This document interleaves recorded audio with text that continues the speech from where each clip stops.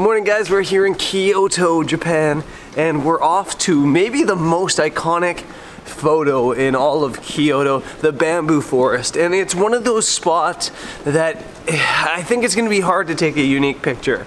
And it might even be harder because this morning the light looks really bad. But it's one of those classic spots that even if it's a similar photo to what everybody else takes, it's just one of those photos you just need to take. So um, we're hiking that way now.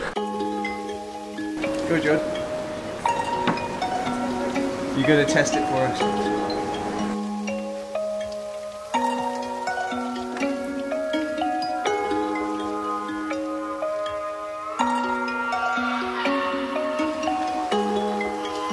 So according to Google Maps, the bamboo forest is just right around this corner up here.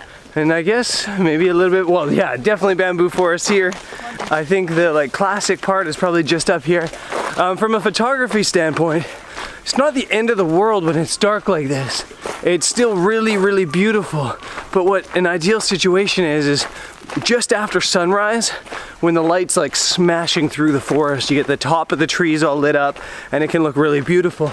But when it's overcast and cloudy like this, you don't get that glow on the top. So a little bit of a shame, but we'll still make something in here. This place is beautiful.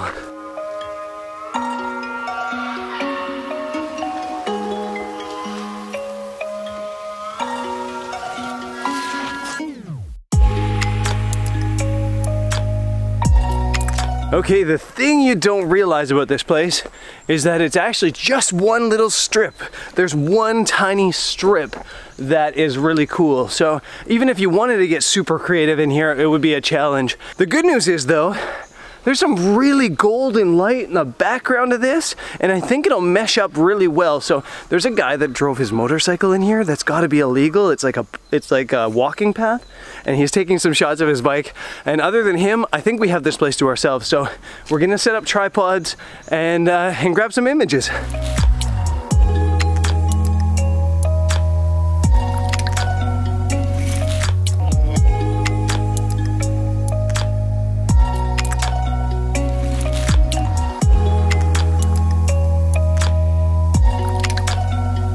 So we're set up and we're actually getting light here. It's actually perfect. I was complaining this morning, it's perfect. We're getting this really, really nice glowing light on the top, and because of the overcastness, it's soft through here. It's not harsh, and the top of the image looks really nice and glowing.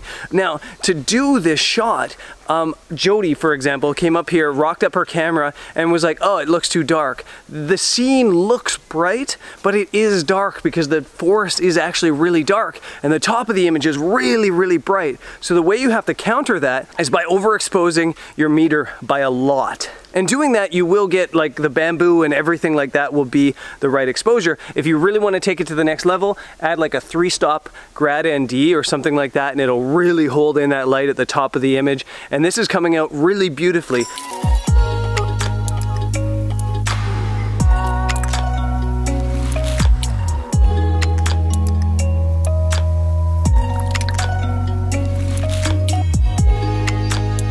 There is really only four or five images at most here shooting that way.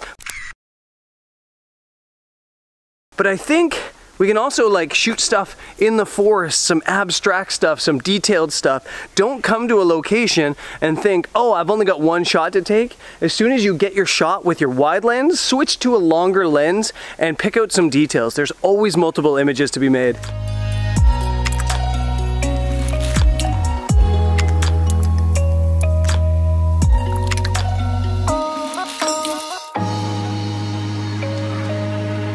For photographers, this is um, this is my bit of advice. Get here really early. It's 6.14, the sun's now been up for 20 minutes. We've been here for about 20 minutes and people have started to roll in. Um, most people roll in pretty quick, take a couple pictures and move, um, but it is getting busy. It's also cherry blossom season, so it's extra busy.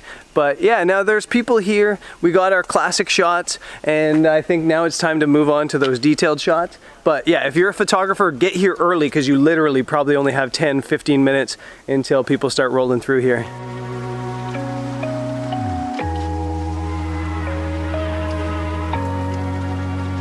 Photo number two after the, you know, the classic shot. I've got the 50 millimeter on, no filters, nothing, and I'm just shooting straight into the bamboo. It's really important with shots like this to figure out one, depth of field. And sometimes it looks better to be like f16 and get everything in focus. Sometimes it looks better to kind of have something in the foreground. So I'm shooting both of them, and I guess I'll see what looks best later in post-processing. But the most important thing is composition on these shots. If you don't have a nice composition in these detailed shots, if you don't find a balanced image, you don't find something interesting, it's, it's a nothing image. So really, really work on your composition. One of the tricks that I use in finding composition in details is I literally just throw on the live view on my camera and I kind of just pan around the world to try to see what it looks like because obviously your camera sees different than your eyes do. So I like to look through my camera and I do that using the live view. And I think these photos are coming out pretty cool today.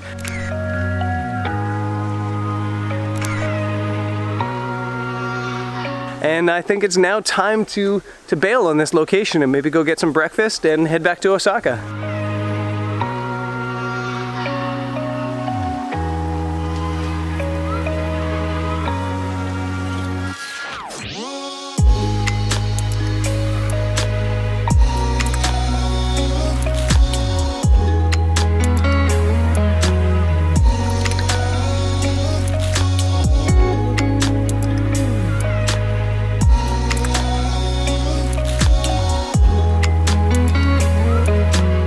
Have to say the trains in Kyoto, like the local trains, and actually this isn't really a local train, it's a private line, non-JR line, that goes all the way to Kobe actually, I think. These trains are awesome. They're kind of like old school looking and like wood and yeah, I really like these trains. We're off to meet one of Jody's friends right now and apparently the place we're going might have 3D lattes again, so maybe another another latte of my face coming up.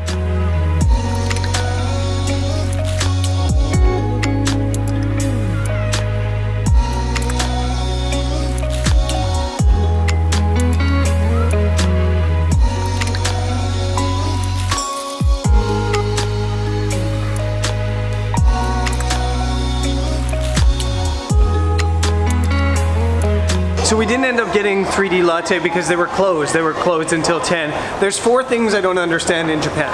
One, it's really hard to find garbage bins.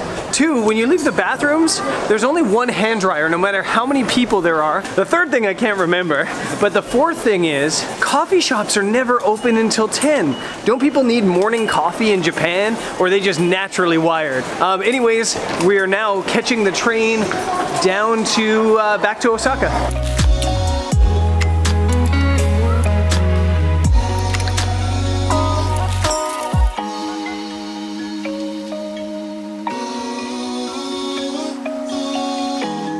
I just remembered the third thing I don't understand in Japan, and that's why people ride their bikes on the sidewalk instead of the road as somebody walks drives by on the road. The roads have very few like cars on them in general, and they ride their bikes on the sidewalk, and quite often you spend a lot of time dodging bikes on the sidewalks.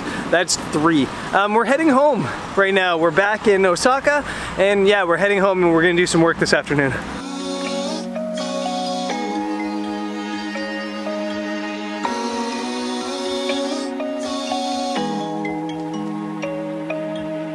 Forgot to film an outro to this video, so uh, yeah, this is it.